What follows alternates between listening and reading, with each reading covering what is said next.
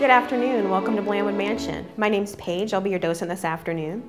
You may have noticed. Blandwood is a National Historic Landmark. It does date back to 1795, which predates the founding of the city of Greensboro. It is the oldest structure that is still sitting on its original foundations in the city. A number of historians across the state of North Carolina really consider Blandwood to be the center of North Carolina history. Blandwood is one of the treasures that makes Greensboro the city that it is today.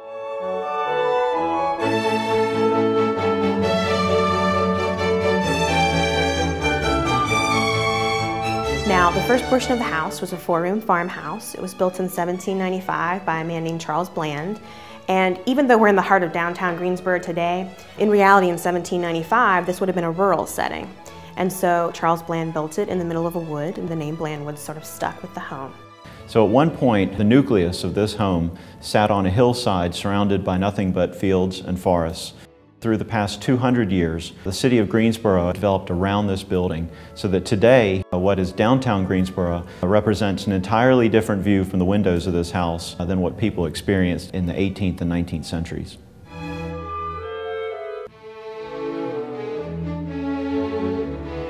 And this is a Southern family that were slaveholders. Now, the people who would have been doing the labor in the kitchen would have been slaves, and this warming pantry allowed them to walk directly from the kitchen, which is a separate building, into the house, and they could use these two pantries here, these two cupboards on either side. In 1827, Blandwood was purchased by a gentleman named John Motley Morehead, more commonly known today as Governor John Motley Morehead. In 1840, Morehead is elected governor of North Carolina. And it's painted to show that this is a, a really important part of the house where the governor and his wife are going to entertain because he's an important man in, in North Carolina one of the premier governors, in fact, uh, the governor that's considered by many people to be the father of modern North Carolina in terms of establishing a transportation network that we have today, an emphasis on good quality education that's open to all citizens of North Carolina, and a good social network. All these things were started and initiated by Governor Morehead and have been built on since uh, he was governor in the 1840s.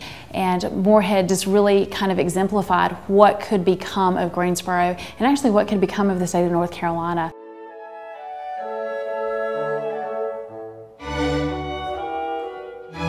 So the room that we're walking into now is the ladies' parlor. And there isn't this feature in any other house in North Carolina. It's very unusual, and it's an innovation of the architect Alexander Jackson Davis. Alexander Jackson Davis is the architect who designed the Italianate addition to Blandwood. It is the first of its kind um, built not only in North Carolina but in the United States. And securing A.J. Davis, who is a prominent national architect, uh, calling him into Greensboro to design this house. The statement was that Greensboro was part of the national community. It was part of a national conversation about architecture and design that we were on par with New York City and any other major city and seaport along the east coast of the United States. We do have some of the drawings that um, Alexander Jackson did for Blandwood. Um, his floor plan that he did in 1844, which the original is still located and can be seen today at the Metropolitan Museum of Art. We do have a copy of it here at Blandwood that people can see when they tour the house.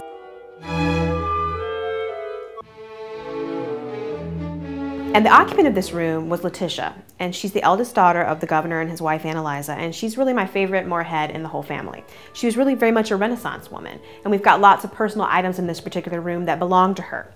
For example, over here you see this painting that she did, and this is quite remarkable. This is a, an image Governor and his wife, Ann Eliza, had eight children, the oldest of whom was Letitia. Um, Letitia does get married in 1848 to William Walker. William doesn't live very long. He passes away in 1855, and Letitia and her three children do move back to Blandwood.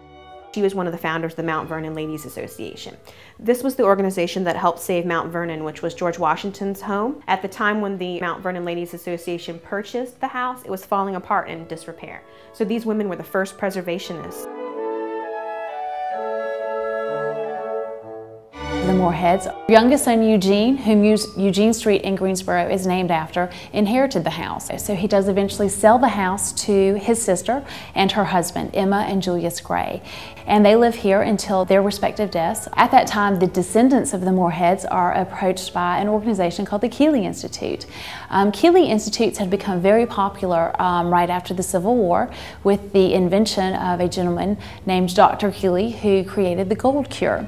He works with another surgeon and they create a hospital-like setting in Dwight, Illinois. The successful patients create franchises throughout the United States. And William Osborne opened one here in Greensboro, and then they moved it to Blandwood in 1896. There was a Keeley Institute in Blandwood from 1896 until 1961.